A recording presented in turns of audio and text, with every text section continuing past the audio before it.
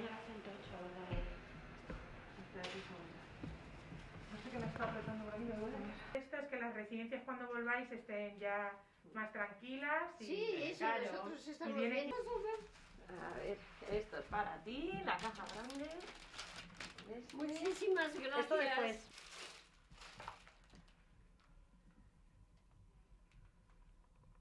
Bueno, Uy, qué cosa muy bonita. Qué bonita.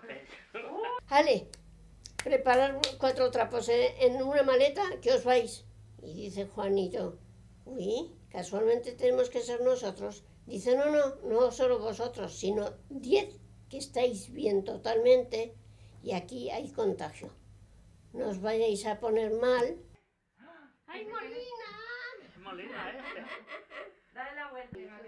¿Sabéis lo que más pena me da de estar aquí y tenerme que ir ahora? No puedo- Y aquí estamos que nos han tratado, pero, pero no, vea, aquí, aquí tenemos médicos, enfermeras, eh, mucha compañía, mucha, mu- mucha lectura, mucho, bueno, de todo. Trabajo Qué bonito. Eso es un, es un mandala, eso. Para que... ¿Dónde está Irene? La última en llegarnos. Sí. Ha sido la última. Y todavía... ¿Qué es lo peor? Pues no lo puedo decir por la soledad igual. Que no ves a la familia y nada más está el teléfono, pero las cosas son iguales. Coronavirus. Y ahora mira. Por eso digo que son superheroínas. Lo que llevan encima.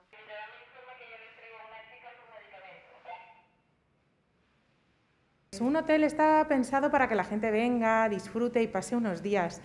Pero cuando vamos a estar un tiempo y en la habitación, pues hay que adaptarlo, ¿no? Todo el mobiliario que había de cuadros o las bañeras, todo eso se ha tenido que ir quitando y adaptando. Y sobre todo, pues eh, traer eh, medicación, traer eh, sanitarios, porque eso no, no lo tiene un hotel.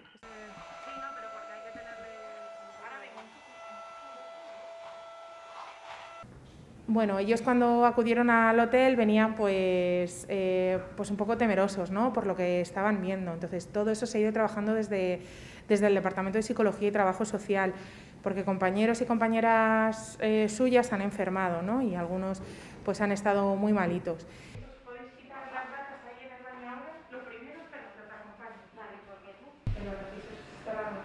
Sí.